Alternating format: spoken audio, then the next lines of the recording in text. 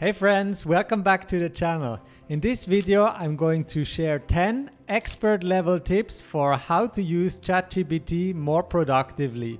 And by the way, everything I'm going to talk about in this video can be used totally for free. Oh, and by the way, if we haven't met yet, I'm Greg. I'm based in Switzerland. I used to be a strategy consultant and now I'm working full-time as an AI entrepreneur and YouTuber. On this channel, I share tips and tricks from my life and my experience how you can use AI to be more productive. And with that, let's jump right into our 10 expert tips for today. Pro level tip number one is to use the ChatGPT desktop app instead of the browser window. To do that, you can just go here on the top right on your name and then you choose download the macOS app. There is an equivalent app for Windows as well. You download it and install it You'll need to sign in again. I recommend you just use the sign in with Google. And as you see already when you open it, you learn about some of the advantages of the desktop app versus the browser app, which is that you can get access to it from anywhere and you have access to keyboard shortcuts. So now I'm in the desktop app and I can use it just like the computer version. For example, by asking, how is Tesla stock doing today?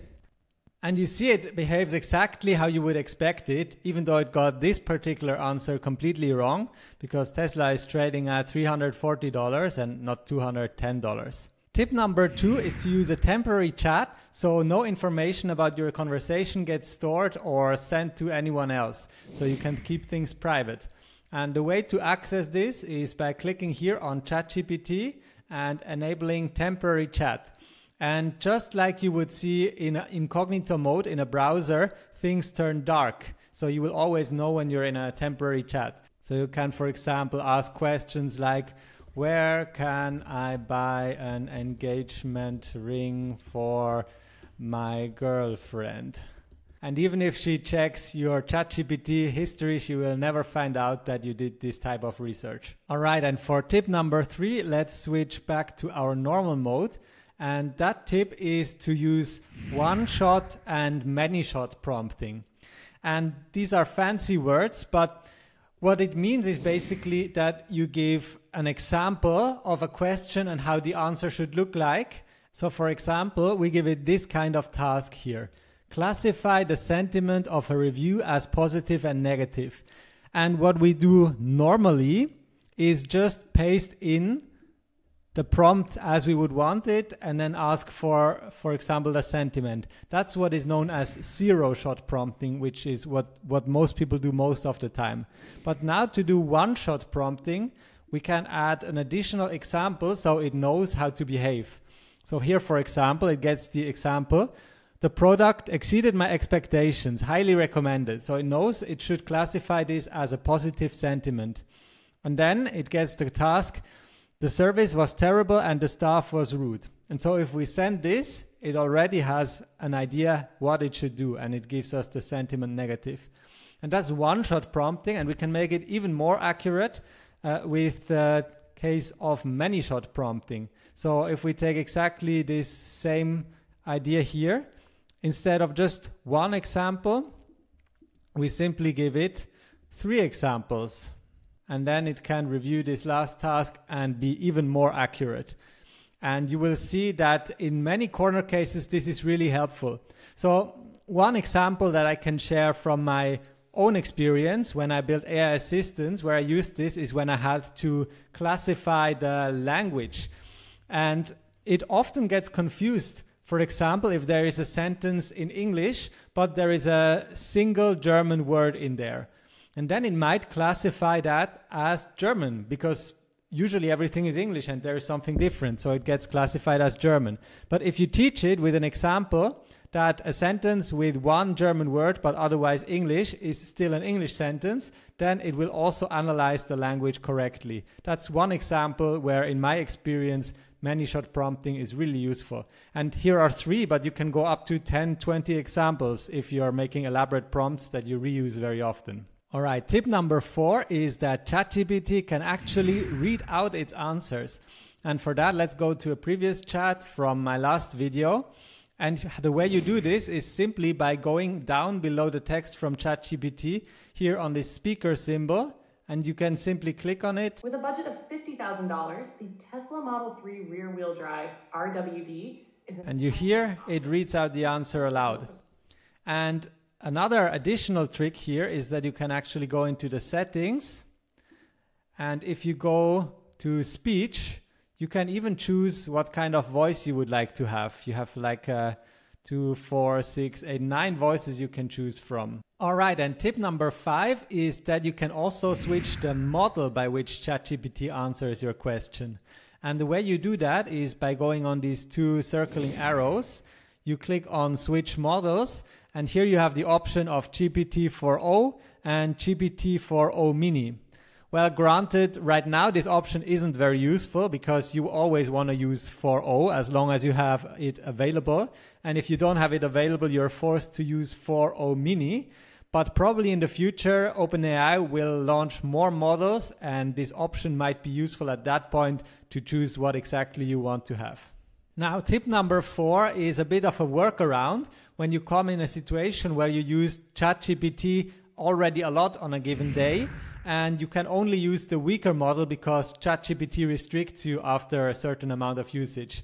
But you, for example, you want to upload a document here because you want to have it analyzed, but you can't do that on the weaker model. Then what do you do? Of course, OpenAI would like you to then pay the subscription, but there is a very easy workaround, and that's just by logging out.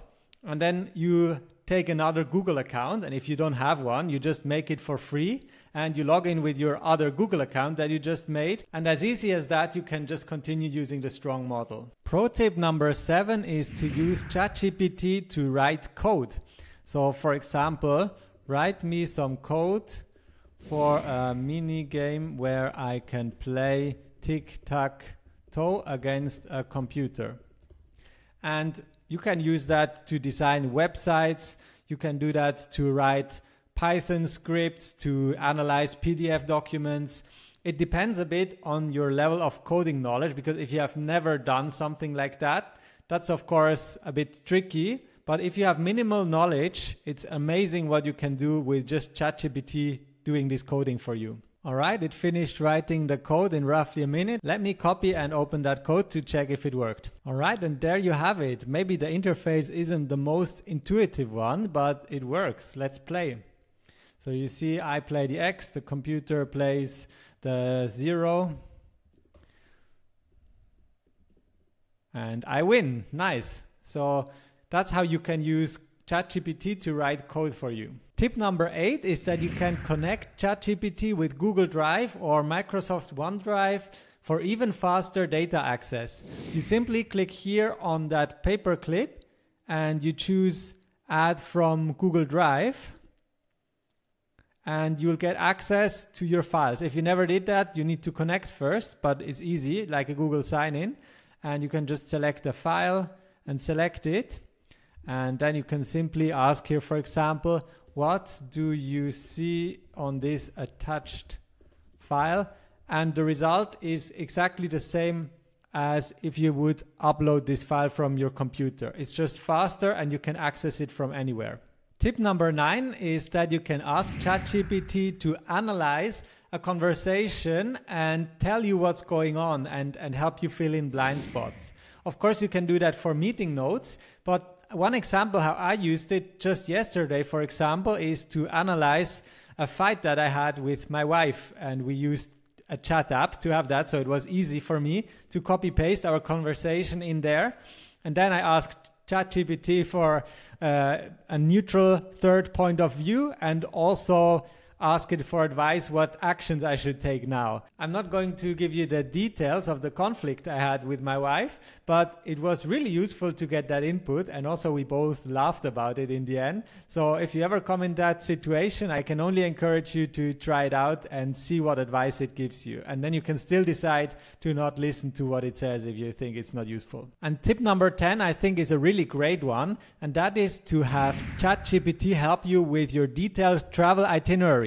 And let me give you an example here. So let's say I'm going to visit Switzerland. And then what I do is I actually give it the exact day and time and also place of arrival and the same with departure.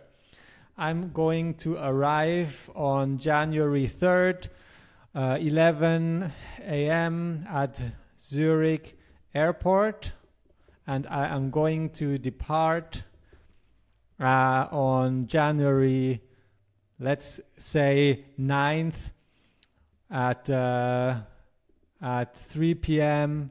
from Basel Airport. Please give me a travel itinerary for every day in Switzerland.